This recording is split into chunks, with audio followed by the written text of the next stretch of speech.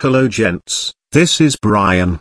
Dr. Schoor asked me to talk to you about prostate cancer screening. It seems like screening for prostate cancer is no big deal, but I am here to tell you that it is. Perhaps we ought to get more comfy first. Would this be okay? Ah, that is much better. Why don't we start with the positive aspects of prostate cancer screening? Screening may result in early detection of prostate cancer. Screening may result in prevention of death from prostate cancer, which is also called prostate cancer-specific death. Screening may prevent or reduce the morbidity, or in other words, the sickness, that is caused by advanced prostate cancer. Well golly. That sounds pretty good. Sign me up. How did you get here? Who let you in? Never mind. Shall we continue? Before you just consent to the screening, perhaps I should discuss the negative aspects of prostate cancer screening. Please do. I am trying. Please let me. Go for it.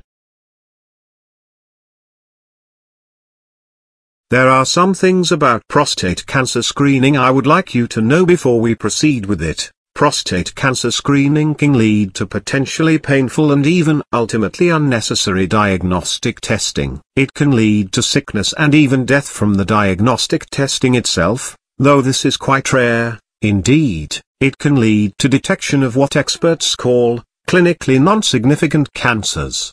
Now hold your hat there, partner. Aren't all cancers potentially lethal? All cancers are different. Some are more dangerous than others.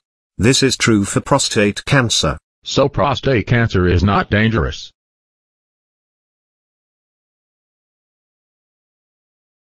I did not say that. I said that not all forms of prostate cancer in all patients will lead to sickness and, or, death from prostate cancer. Prostate cancer screening can lead to the overtreatment of men with prostate cancer with treatments like surgery and radiation. Treatments such as these have some undesirable side effects, like impotence and incontinence, among others. Who there, James Bond? You mean that I can lose my manhood?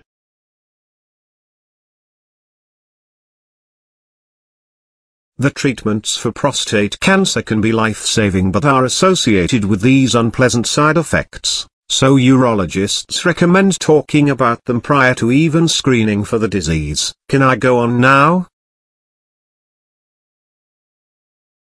By all means, Austin Power, proceed. Waiting to screen until age 55 may reduce these negative aspects of screening without resulting in more prostate cancer deaths and sickness. So what should I do? You tell me what to do, Doc. I cannot tell you what to do. I can only have a discussion with you about the pros and cons of prostate cancer screening.